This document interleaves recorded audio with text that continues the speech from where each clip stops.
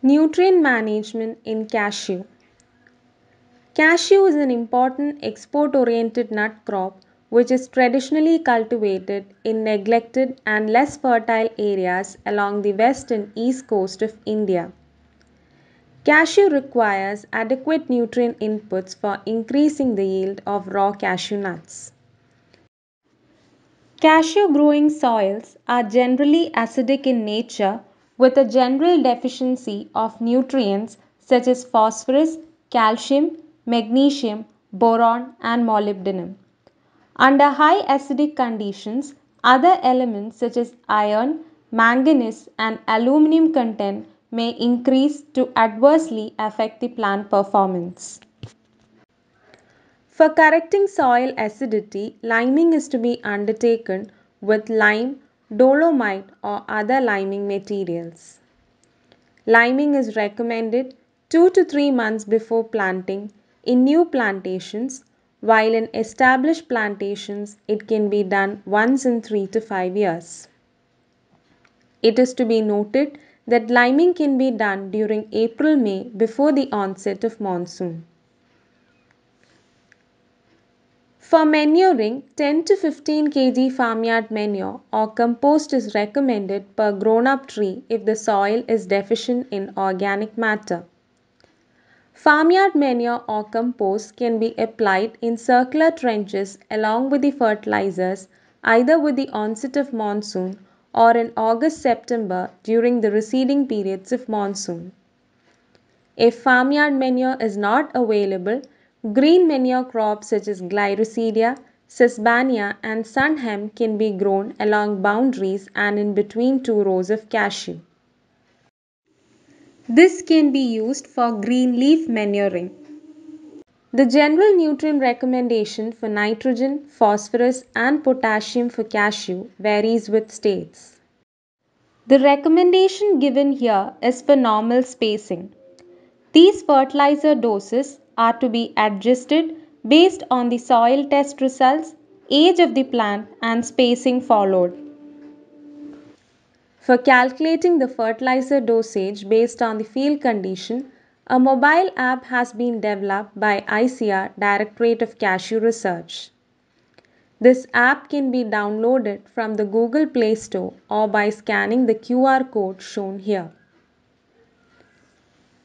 For applying the fertilizers, in case of loamy soils and in low rainfall areas, that is along east coast and interior region, the fertilizers should be applied in 50 cm circular strips at a distance of 0.5 meter, 0.7 meter, 1 meter and 1.5 meter away from the trunk during first, second, third and fourth year after planting.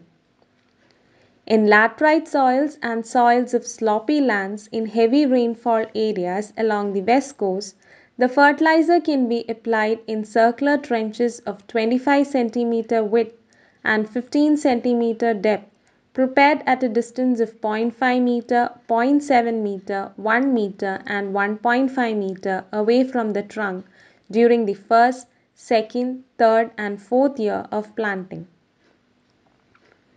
Immediately after application, fertilizer should be raked into soil.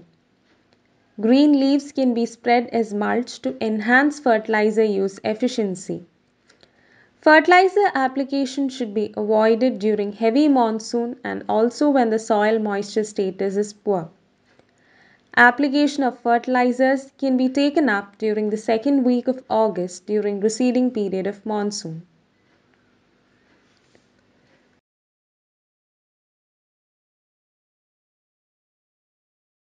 Under normal density planting, during first, second, third, fourth and fifth year of planting, 1 by 5th, 2 by 5th, 3 by 5th, 4 by 5th and full quantity of recommended dose is to be applied.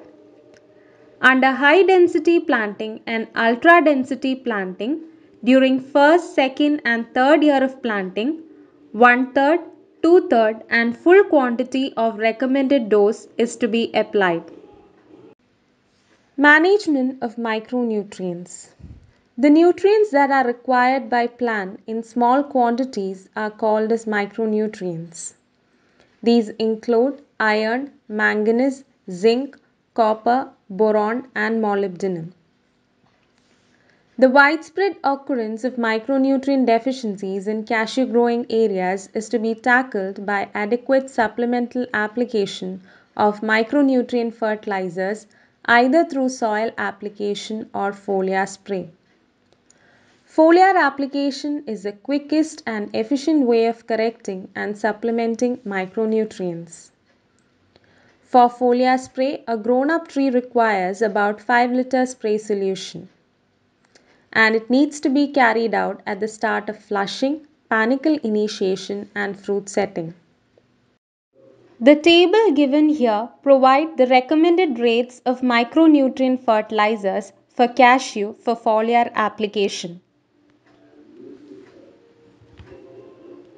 If we go for soil applications of micronutrients, the rates of application of micronutrients varies with the micronutrient. Excess application to soil should not be done as it will adversely affect other nutrients, crop growth and yield. Soil application is generally recommended once in 2 years.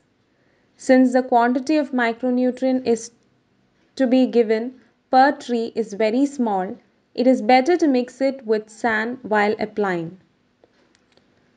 Precautions in micronutrient soil application includes applying only once in 2 years. Zinc fertilizers should not be applied along with phosphatic fertilizers and applying it only if deficiency is detected in soil testing.